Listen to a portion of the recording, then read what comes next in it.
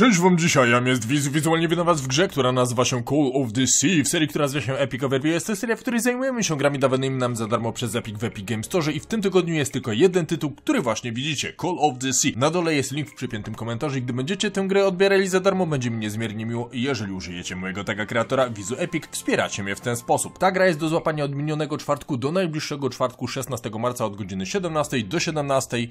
Tak? Zmiana czasu powinna być pod koniec marca, więc jeszcze od 17 do 17 nie będzie tego przesunięcia jednogodzinnego, a w przyszłym tygodniu czekać na Was powinien Warhammer 40 000 Gladius Relics of War od 16 marca do 23 marca i tu chyba też od 17 do 17. Weźcie pod uwagę, że właśnie trwa wyprzedaż epikowa, więc możecie urżnąć sporo sceny wielu produkcji. Nie będę się tutaj nad tym rozwodził, ale jak wbijecie na swój launcher Epika, to jest wiele gierek w bardzo przystępnych cenach jak na chwilę obecną. Z czym się je Call of the Sea? Jest to gra, która wyszła w grudniu 2020 roku, więc nie jest jakaś wybitnie stara. Producentem jest Out of the Blue Games, a wydawcą Raw Fury. W internetach ostatnie recenzje na takim Steamie są w większości pozytywne 54, a wszystkie recenzje są bardzo pozytywne i jest ich prawie 2,5 tysiąca. To wam na starcie powinno powiedzieć, że dostajecie mało popularną, ale bardzo dobrą gierkę do ogrania za friko, oczywiście permanentnie. Jest to gra sklasyfikowana jako przygodowa łamigłówka z bogatą fabułą, perspektywa pierwszej osoby, żeńska postać w roli głównej, inspirowane Lovecraftem, do tego za moment przyjdziemy, niezależny indyczek oczywiście, klimatyczna, tajemnicza, rekreacyjna, eksploracja, kolorowa, bardzo kolorowa, jednoosobowa, śledztwo, narracja historyczna, symulator chodzenia, tak, walking simulator po całości, surrealistyczna, miejscami bardzo poruszająca, tak i w 3D oczywiście ta gra jest, ale zanim popatatajamy dalej, to warto powiedzieć, że Lovecraft i Katulki tutaj są od samego startu i jest to jeden z tych Lovecraftowych, około Lovecraftowych projektów oczywiście, nie bezpośrednio, nie od ręki mistrza, który jest umiejscowiony w mniej klasycznym settingu, to nie jest jakaś straszna posiadłość, po której się bujamy, tu jest bardzo kolorowo, tutaj jest bardzo uroczo, bardzo klimatycznie na samym początku i to też nie jest nowum, bo Lovecraft był wrzucany praktycznie we wszystkie zakątki ziemi, więc dobry patent, dobry patent do każdego settingu pasuje. Jeżeli chodzi o DLC, to jako takiego nie ma, ale można dokupić dodatkowo album i soundtrack, co oznacza album wizualny, jeżeli potrzebujecie fajne arty i tapety i tego typu rzeczy, to będzie tutaj, a jeżeli chodzi o OST, no to oczywiście muzyka z gry, która jest całkiem niezła. Kim i z czym? Gramy jako Nora, mamy ustaloną bohaterkę, nie ma możliwości oczywiście tworzenia własnego bohatera, więc to co dostajemy to jest to o czym gramy i Nora ma ogromną wiedzę, bardzo podręcznikową i akademicką, niezbyt praktyczną, jest to osoba, która szybko się uczy i ma tą taką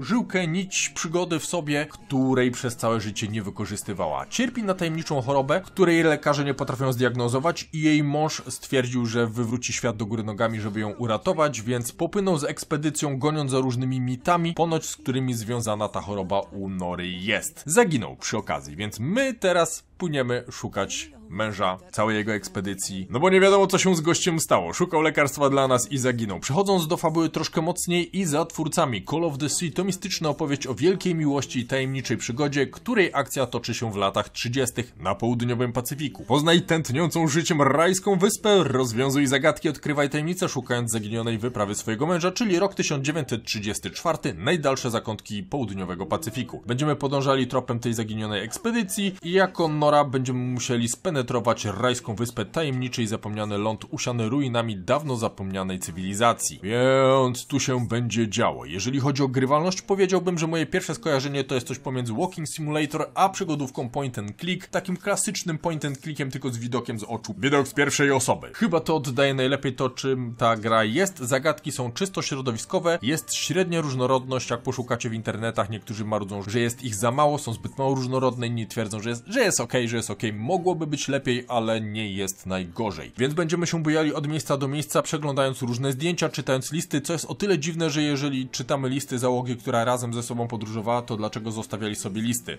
Mmm, motyw przerabiany wielokrotnie, chociażby w Diczencie, którego przerabialiśmy na streamach, więc tutaj jest podobnie bardzo dużo informacji zawartych zarówno tekstowo, jak i w różnych takich rzeczach pozostawianych po ekipie. I musimy rozgryźć w jaki sposób otworzyć kolejne wrota i przedostać się dalej, do kolejnej mapy, do kolejnej i tak dalej, i tak dalej. Jest jedna rzecz przy grywalności, o której bym powiedział i jest to Nora która gada i często psuje nam radochę z rozwiązywania zagadek. Ona podpowiada, co my mamy zrobić dalej, co byłoby spoko, gdyby tak po paru, parunastu minutach bez możliwości rozwiązania zagadki zaczynała się odpalać, ale ona gada od samego początku, więc Wizu mega rozgryz, co ma zrobić, zaczyna robić to, obracać te wszystkie puzelki tak jak powinny być i w tym momencie Nora zaczyna mi mówić, co ja mam robić i jest takie...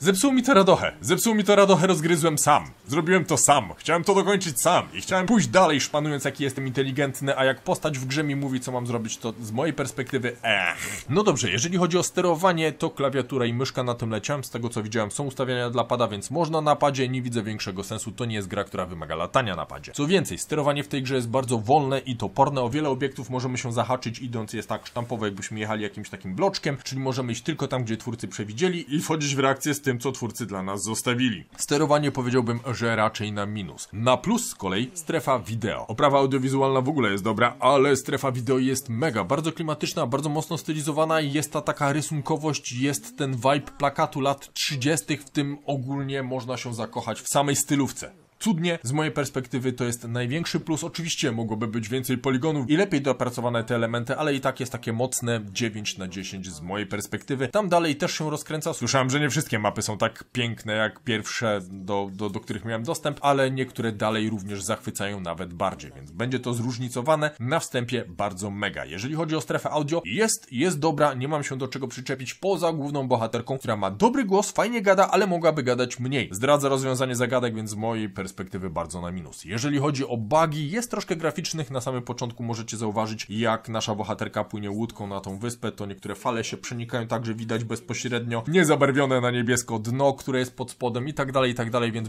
drobnych błędów graficznych jest sporo. Z większych problemów, jakie czytałem, to tylko da się zapaść pod ziemię, więc trzeba wczytywać savey, bo jak podejdziecie pod złym kątem do jakiejś takiej górki, to da się wlecieć między tekstury i polecieć na dół, więc nie spotkałem się z tym, podobno jest, podobno dalej jest. Plusy i minusy minusy, fabuła, zagadki, oprawa audiowizualna jak najbardziej na tak. Z minusów to troszkę błędów, oczywiście, no jak najbardziej na minus, oraz samo gadanie Nory jest z mojej perspektywy największym minusem tej gry, bo psuje radość z rozwiązywania puzelków, a ta gra polega na chodzeniu od miejsca do miejsca i rozwiązywaniu, i rozwiązywaniu zagadek, więc okej. Okay. Jeżeli chodzi o wymagania, to 64-bitowy system operacyjny, np. Windows 7, 8.1 lub 10, procesor taki jak AMD FX 6100 lub odpowiednio odpowiednik z Intela i3 3220, ewentualnie jakiś równoważny 8 GB RAMu, 15 GB wolnej przestrzeni na dysku i DirectX 11, co oznacza, że karta dźwiękowa kompatybilna z DirectX 11.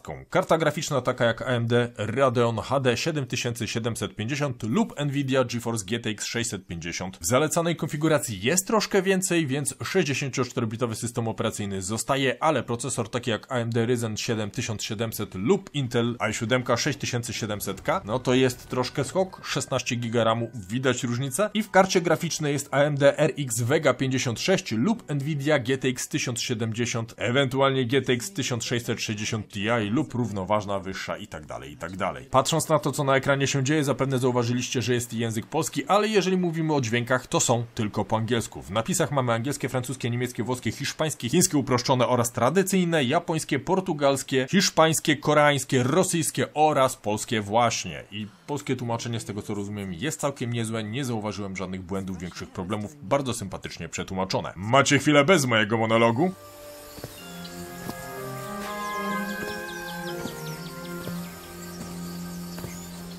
Wow, what is this place? I'd better have a look around this abandoned village. Harry's crew might have stayed here. Everhard expedition. They set up camp here.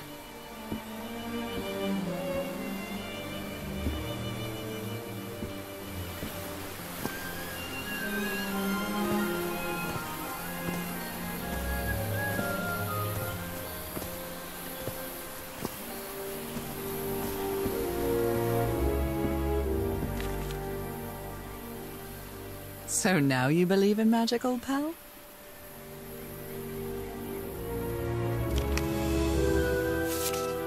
I reasumując, gra zapowiada się świetnie, jeżeli szukacie czegoś takiego mega klimatycznego, może niezbyt strasznego, ale też niezbyt emocjonującego, że są gonitwy, wybuchy, pościgi, puzelki. Wytęży to wasz umysł, może nie jakoś strasznie, ale wytęży to wasz umysł, pokminicie troszkę co, gdzie i jak i powinniście się dobrze bawić. Gra jest niezwykle klimatyczna, co więcej, katulki oraz oczywiście Lovecraft. Wizu wielbi, może sam się skuszę przejdę, a może będę oglądał jak będzie przechodziła Hadiuga, ona lubi tego typu produkcje. Myślę o przygodówkach point and click. To już jest wszystko, co ja dzisiaj dla was mam przygotowane, więc macie link na dole w przypiętym komentarzu do tej gry. Pamiętajcie użyć tego kreatora Wizu Epic, gdy będziecie ją odbierali i życzę wam miłego dnia, dobrego jedzonka, fajnych darmówek do grania. Hej!